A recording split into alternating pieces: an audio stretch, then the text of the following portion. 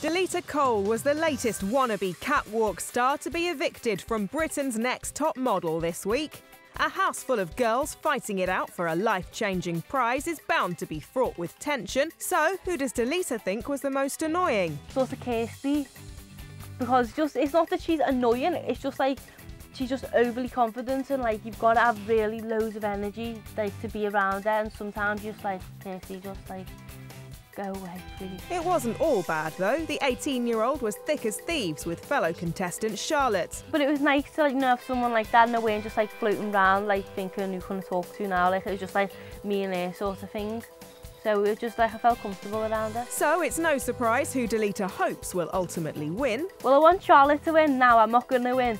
But I think Joy's got a very good chance of winning because like all like Julien loves her and like like all the clients do seem to like her, but she she loves having a good moon. So I don't know whether that'll bring her down, but I think she's got a good chance. And for those who may be thinking of entering the next series of Britain's Next Top Model, Delita has some words of wisdom. Don't let the bitchiness get you down. Just be yourself. Like really, don't. You're there for one thing, is to win. Like I've made mates this episode, but if you don't make mates, don't care. You're there to win, not to make mates. You know what I mean? So just like stay focused.